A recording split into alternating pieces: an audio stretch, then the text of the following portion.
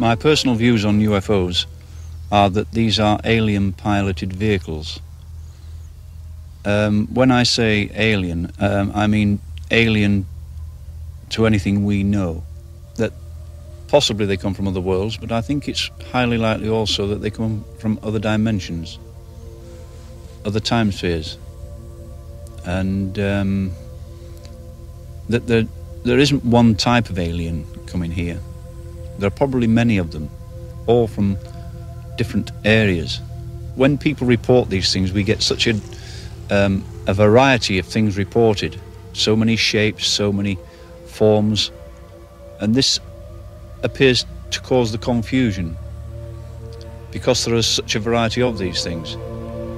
But really speaking, if these things are visiting us from a, a whole host of different areas, one would expect them to be different forms, different machines. And I think this personally is the answer to it.